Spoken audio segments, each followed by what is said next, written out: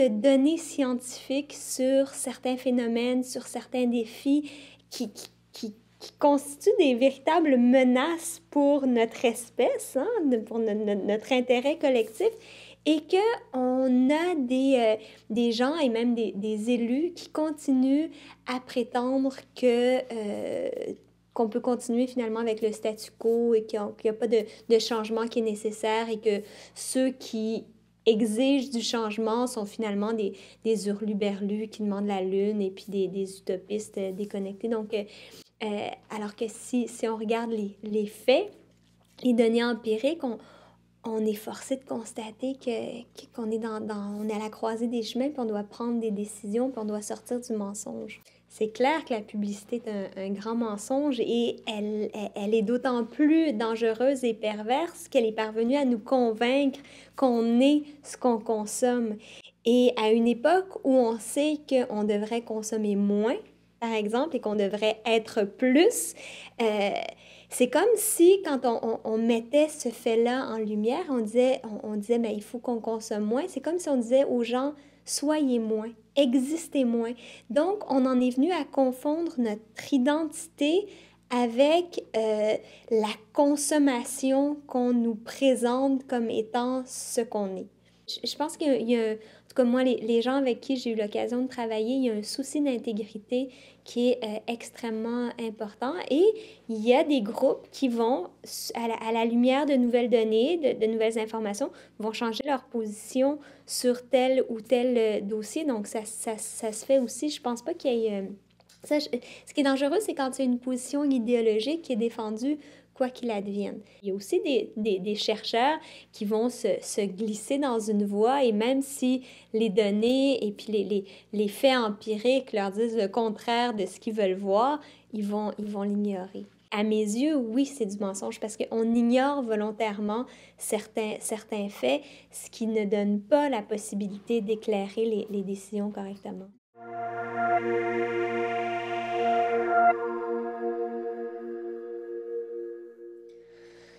L'esprit critique peut se développer de multiples façons. Je, je pense qu'il faut lire nos philosophes, notamment nos intellectuels, qui sont pourtant pas très euh, prisés dans la société. On valorise pas beaucoup la, la réflexion ou l'intellectualité, euh, je dirais, euh, dans, dans, dans, nos sociétés, malheureusement. Ben, je pense qu'on a tout intérêt à réfléchir à ces questions-là pour justement développer un sens critique, puis éventuellement une envie de, de s'engager aussi davantage. Je pense qu'on est à une époque où euh, il y, a, beaucoup de, de, de cynisme et euh, ce, ce cynisme-là est malsain à la fois pour l'ensemble de la société et même pour les individus. On sait que ça, ça contribue à, augmenter les risques de dépression, de problèmes de maladie mentale et tout ça. Alors que d'autres études démontrent par ailleurs que euh, l'engagement, que les liens concrets les uns avec les autres, par exemple, les liens concrets avec les écosystèmes, les liens avec la nature, eux vont avoir l'effet inverse, vont contribuer euh, au, bien-être et donc à la santé et euh, au bonheur des gens. Fait rationnellement, objectivement, on a tout intérêt finalement à aller plus vers une société de l'être et moins une société du, du, du, du paraître.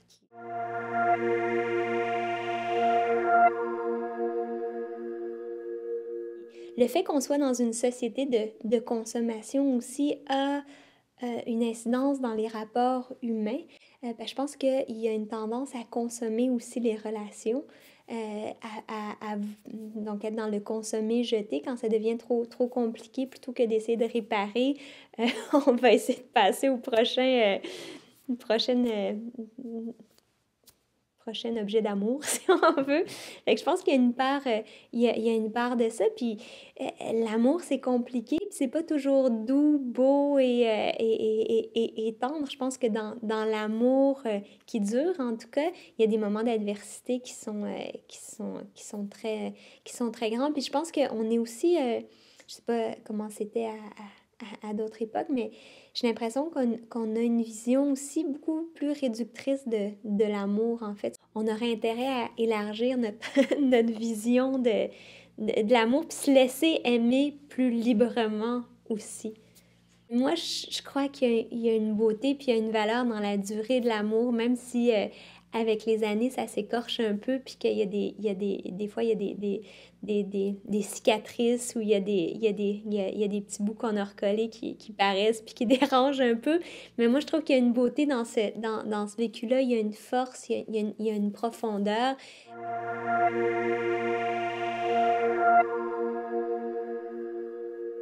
Et là, je pense qu'on on a construit un mythe autour de l'individualisme et, et, et, comme si, dans le fond, c'était la manière de faire, puis c'est pas moi euh, qui le prends, c'est quelqu'un d'autre, fait que autant en profiter moi-même, pourquoi pas. Euh, alors que dans le fond, si on, si on observe pour beaucoup, beaucoup de choses dans la société, aussi contre-intuitif que ça puisse paraître, on est plus riche en partageant. et, un, un, petit exemple tout bête, mais qui pour moi est un, est, un, est un bon... Euh, est, est une bonne illustration de, ça. Quand mes enfants étaient tout petits, à un moment donné, je, suis revenue de voyage, tout ça, puis j'avais acheté un, livre pour mes, mes deux enfants. En fait, je leur avais acheté chacun un livre. Et là, euh, mon, mon, plus grand avait, avait six ans à ce moment-là, quelque chose comme ça. Puis j'ai dit, tiens, Colin, je t'ai acheté euh, ce livre-là. Puis tiens, Alphée, je t'ai acheté ce livre-là. Puis Colin, il m'a dit, non, j'ai une meilleure idée, maman.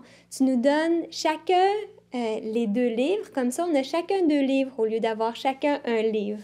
Puis c'était comme tout, tout bête comme idée, mais c'est tellement juste en même temps. On, est souvent dans l'idée de... On, on, traite le partage en fonction d'individus, alors que quand on met nos ressources ensemble, on est plus riche.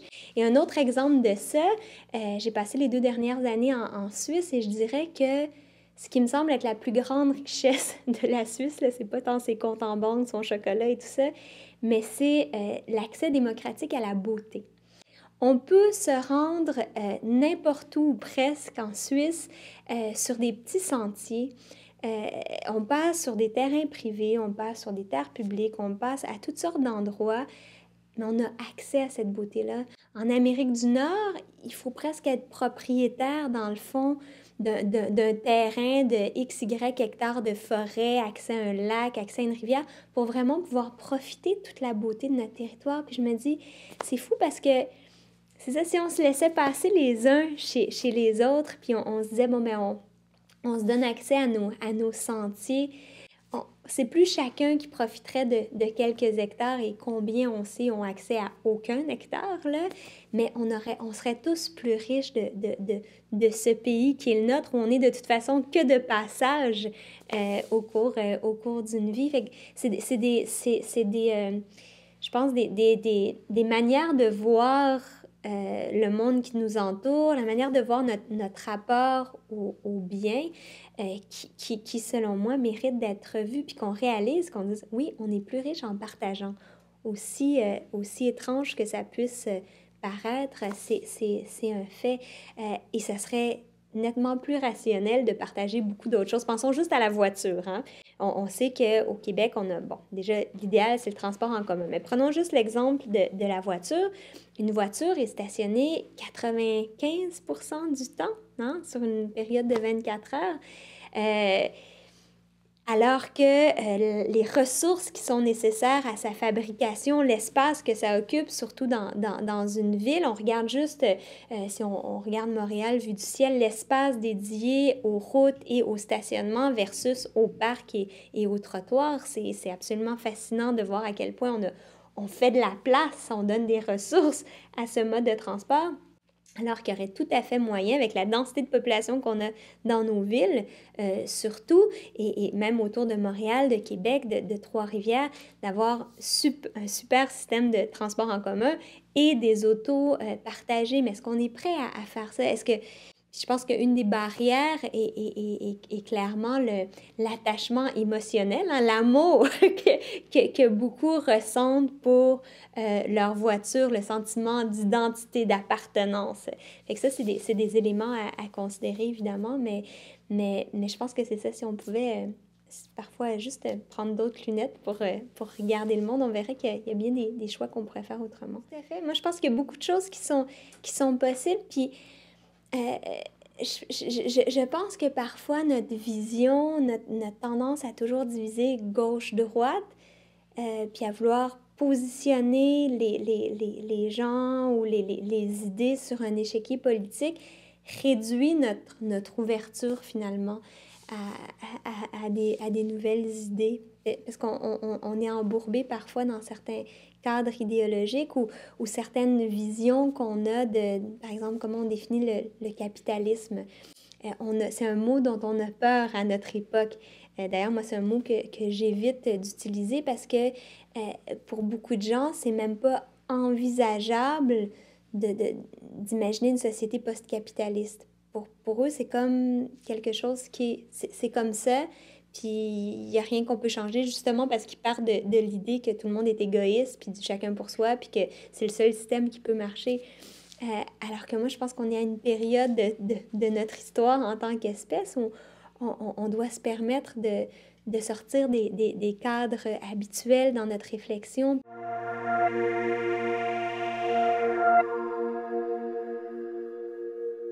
Est-ce que le, travail de chacun doit être utile pour les, pour les autres? Mais j'espère que oui, pour le sens que donne euh, cette, cette personne à, à sa vie. Pour certains, euh, certains, certains objets sont considérés comme comme utile, alors que pour d'autres, ça sera considéré comme euh, inutile. Euh, même chose pour certains services et tout ça. Donc, c'est, après, ça dépend de, de, nos valeurs et de, de nos priorités. Mais je pense que dans nos sociétés, on passe tellement d'heures à travailler, puis on valorise tellement le travail que si le travail qu'on fait n'a pas de sens, euh, pour nous, ben, ça, ça doit pas, ça doit pas être facile.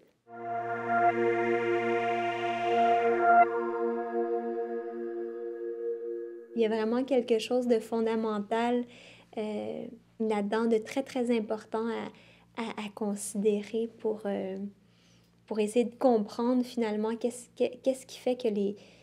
Aussi qu'il y a autant de, de désespoir et de souffrance dans notre société, parce que ça, on voit qu'il y en a, qu'il y a une grande partie de la, la société qui est marginalisée économiquement. On le voit avec l'augmentation des inégalités qui, sont, sont effroyables, marginalisée socialement, marginalisée culturellement, et une pression extrêmement forte pour entrer dans un modèle, une manière d'être et tout ça. Mais en même temps, parallèlement à ça, il y a toutes sortes de courants alternatifs qui se développent. Il y a une multiplication, un foisonnement d'initiatives citoyennes partout à travers le Québec, je vous dirais. Vraiment une, diversité qui, est absolument euh, extraordinaire, malgré la lourdeur et le poids.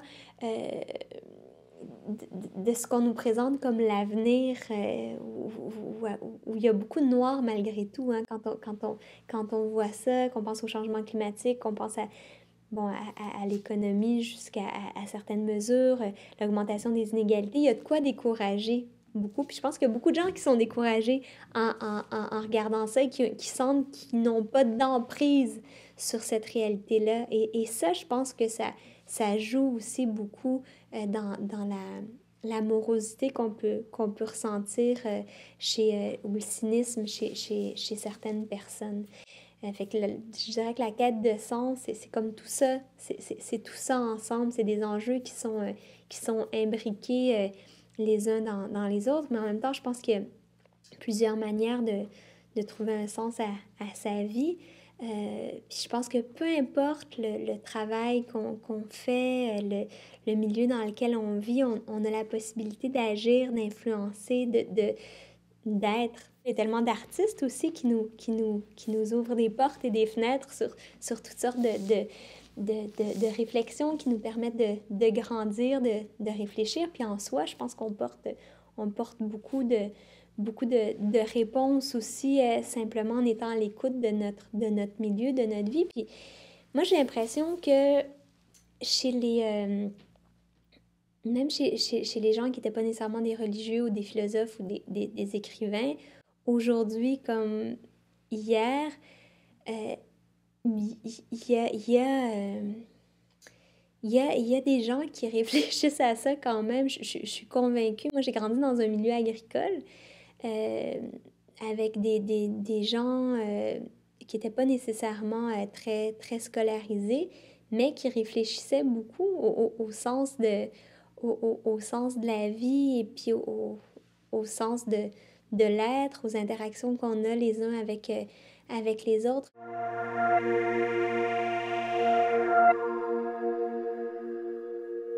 Ben, je pense que les médias sociaux peuvent permettre le meilleur comme le pire. On va commencer par le meilleur. Le meilleur, c'est que ça, ça relie des gens, ça permet de garder des contacts, d'avoir de, de, des, des, des, liens et parfois de susciter des actions qui sont très intéressantes. Je, pense tout récemment, euh, la compagnie Sobeys, qui a les bannières IGA, et puis euh, euh, Tradition, ont fait un test d'un mois avec les, bananes, et ont remplacé les bananes bio-équitables par des bananes bio Del Monte.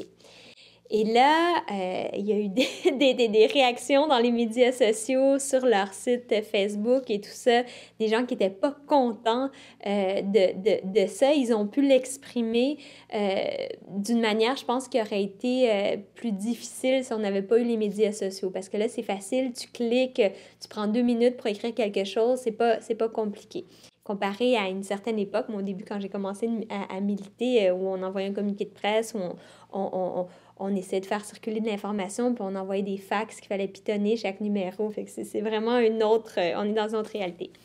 L'effet moins positif des, des, médias sociaux, c'est que je pense que certains se contentent justement d'agir euh, par le biais de leur ordinateur, par le biais de Facebook, puis ils ont l'impression que parce qu'ils like quelque chose, là, euh, ils, cliquent sur j'aime ou parce qu'ils partagent, ben là, ils, comme si c'était suffisant. Fait que je pense que c'est bien de le faire, ça contribue, mais il faut, faut, faut pas pour autant délaisser euh, le, le, moment présent. J'ai un autre, un autre exemple d'une d'un ami qui avait, qui avait amené un autre ami à, pour, pour, pour, pêcher pour la première fois, tout ça. Puis le premier réflexe de la personne, quand elle a pêché son poisson, c'était pas de c'était pas de vivre le moment présent, mais c'était de vite prendre une photo puis l'envoyer sur Facebook. Je pense que il faut, euh, comme n'importe quel outil, comme n'importe quelle technologie, il faut apprendre à l'utiliser intelligemment.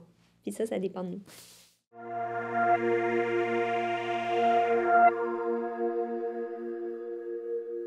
ben, moi, je pense que la, la médiatisation euh, peut être, euh, peut être un piège à bien des, à bien des égards. Euh, euh, c'est sûr que ça peut aider à faire connaître des, des, des, des idées, des enjeux, à, à, défendre des, positions. Euh, mais là encore, il y a le risque de devenir une image, de ne plus être dans l'être, mais d'être dans le paraître. Et je pense que ça, il faut toujours rester vigilant, puis il faut toujours se remettre en question de, de, de, toutes sortes de manières, mais pas se, pas se fixer. Et c'est un petit peu le, le, défi aussi avec les médias sociaux. Les gens se, se fixent sur la toile d'une certaine manière, mettent des choses qui après peuvent plus être enlevées, qui circulent et tout ça. Et ça, ça, ça peut, les, ça peut les, les, les, les figer et dans ce sens-là avoir un effet qui est moins mobilisateur que ce que ça, que ce que ça devrait qu'est-ce que ça devrait être. L'apparence, je pense que dans, dans, dans, nos sociétés à toute époque, puis même dans les, les, sociétés autochtones, il y, avait des, il y a des codes et tout ça, euh, a, a, joué un rôle. Est-ce qu'on peut être plus évolué, sortir de, de, de ça? Je pense que c'est un, c'est un défi qui est à la fois individuel et, et, et, collectif. Puis il faut, faut, créer des, des occasions de, de, de, de partage, des occasions où on on, on, sent qu'on est à l'écoute des, uns des autres, on se donne du temps. Comment est-ce qu'on encourage nos, enfants? On, essaie de faire en sorte qu'ils évitent le, piège du, paraître, puis du, de la visibilité, puis de, tout ça. Euh, bon, dans, le cas de, mes enfants, ils voient euh, à la télé des gens qui connaissent, par exemple, Françoise David, qui est, une amie, euh, qui est une amie à nous. Mais en même temps, elle est là parce qu'elle défend des idées, elle défend des valeurs. Fait que nous, ce qu'on valorise des personnes qu'on voit dans les médias, c'est ceux qui ont quelque chose à, à, à, à apporter qui, correspond à nos valeurs, à notre manière de... de à, à, ce qu'on voit comme, comme étant l'avancement de la société, entre guillemets. Si moi, j'essaie de pousser pour des idées, parfois on me demande euh, de, de, de, de faire des entrevues, pas tant pour mes idées, mais plus parce que je, suis une personnalité publique, entre guillemets, j'ai cette, j'ai cette, j'ai cette étiquette-là.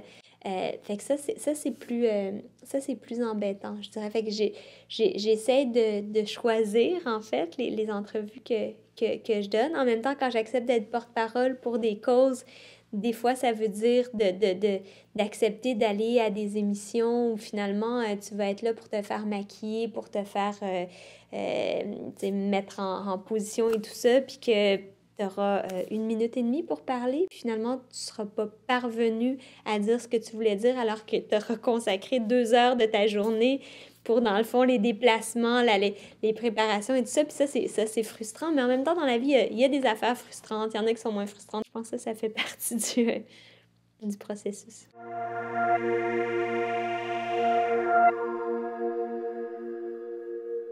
Moi, j'aime, j'aime l'humour. Bon, je, je, je, consomme pas des shows euh, d'humour euh, autrement, mais ce que, ce que j'aimerais voir, c'est plus de, de, de, de, de sujets politiques, sociaux qui soient traités par les humoristes de manière intelligente.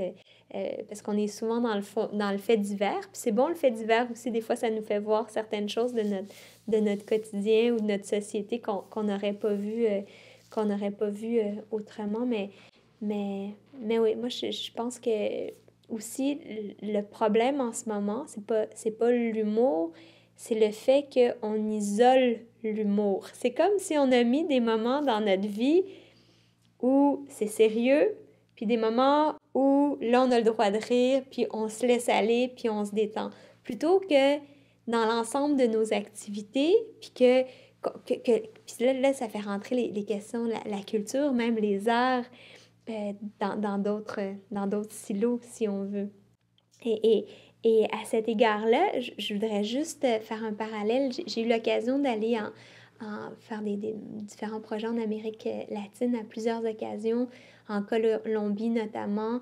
Puis j'ai toujours été euh, ébahie par la, capacité des, des, des, de, de, ces populations-là d'amener la musique, la danse, euh, le chant, la poésie dans des événements qui, a priori, seraient des événements sociaux. Donc, des colloques, des conférences où nous, on fait juste, on a un heure du jour, on est très efficace, on fait tac, tac, tac, tac, tac, tac, tac, puis on, on laisse pas beaucoup de place à, au souffle, au, souffle que, nous, que, que, que, que, que, les arts, que la culture, que la, la poésie, la chanson, l'humour nous permettent, nous permettent d'avoir. je pense a aussi avec l'humour un, un, problème du fait qu'on la compartimentise, puis on, au lieu de l'avoir un petit peu partout, comme, comme avoir un, petit peu partout de poésie, comme avoir un petit peu partout de, de, de, de, chansons, puis de, de sensibilité. On, on, a des émissions d'affaires publiques très sérieuses, on a des émissions de, de, de, de, de, plus culturelles. C'est ça, on, je, je, je, je, me semble que ça nous ferait du bien un petit peu de, je sais pas, de salade de fruits.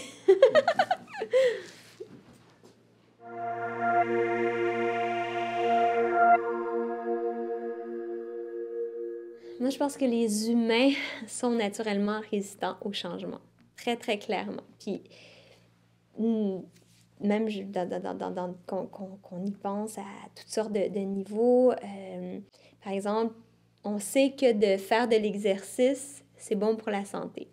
On sait que de fumer, c'est pas bon pour la santé.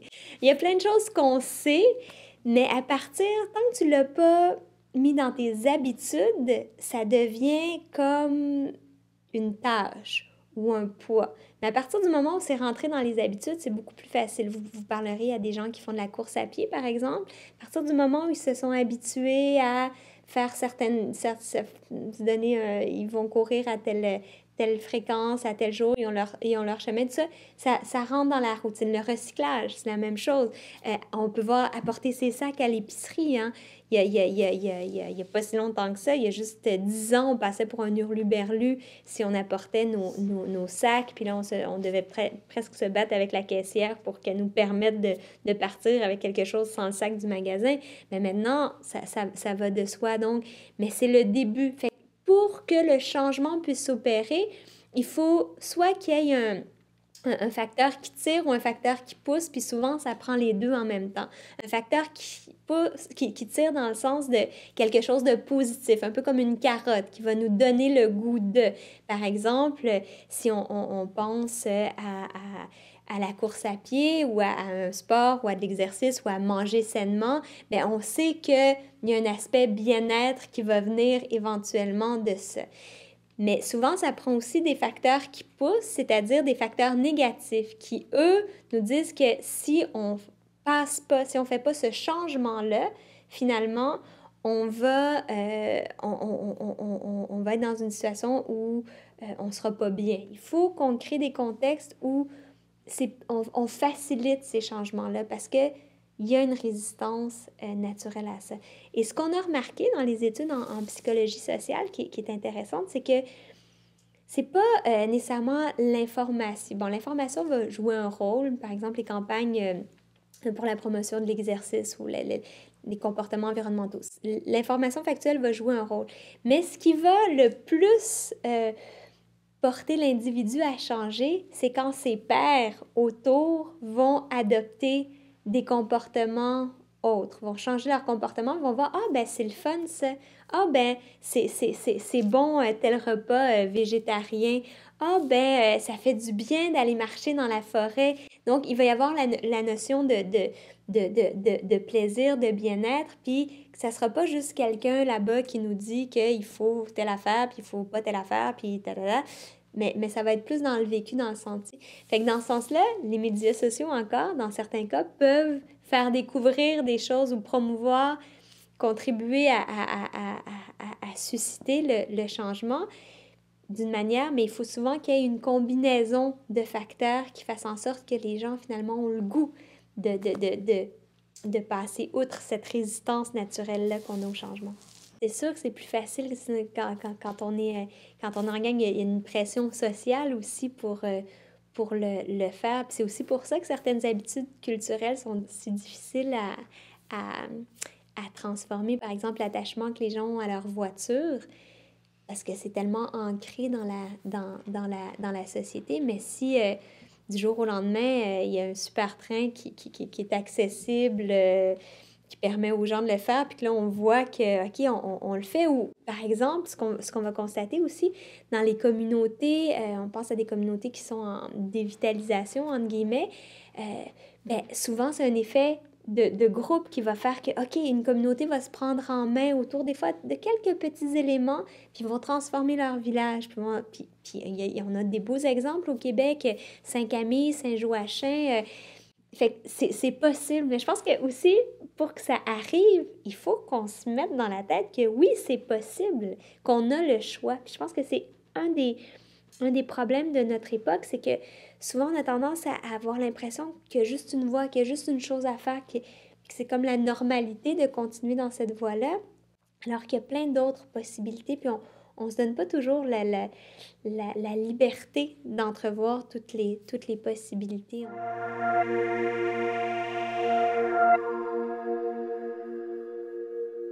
Moi, j'espère un jour plus avoir besoin de militer. C'est-à-dire qu'on vivra dans un monde écologique, la justice sociale sera la norme.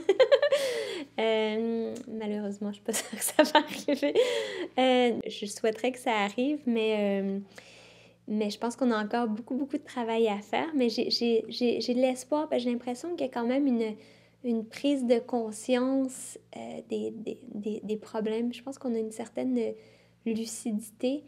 Puis si on regarde les grandes transformations qu'il y a eu dans, dans, dans nos sociétés, quelles qu'elles soient, euh, il y a toujours une résistance au changement. Puis on s'est fait dire que c'était pas possible au départ, puis que c'était utopique de ceci, de, de, de cela. Même l'abolition de l'esclavage, hein, maintenant on trouve que ça n'a juste pas d'allure d'avoir traité euh, des, des, des, des, gens de couleur de cette manière-là.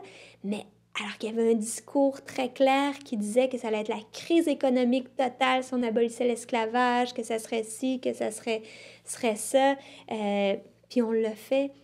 Mais maintenant, je pense qu'il faut faire plus de place à, à aux, faits qu'on a euh, et aux faits qui ne sont pas juste euh, des données économiques. Il faut oser voir plus loin. On est à une époque où on doit euh, être créatif, où il faut qu'on think outside the box, comme disent les, les, les, anglophones, penser en dehors des cadres, des cadres établis parce qu'on est face à des, à des défis qui sont sans précédent pour, pour l'humanité. Parfois, les, changements viennent plus rapidement qu'on qu'on pense aussi, mais ça, ça dépend de notre, notre volonté à tous, puis notre capacité de passer de la parole aux actes aussi.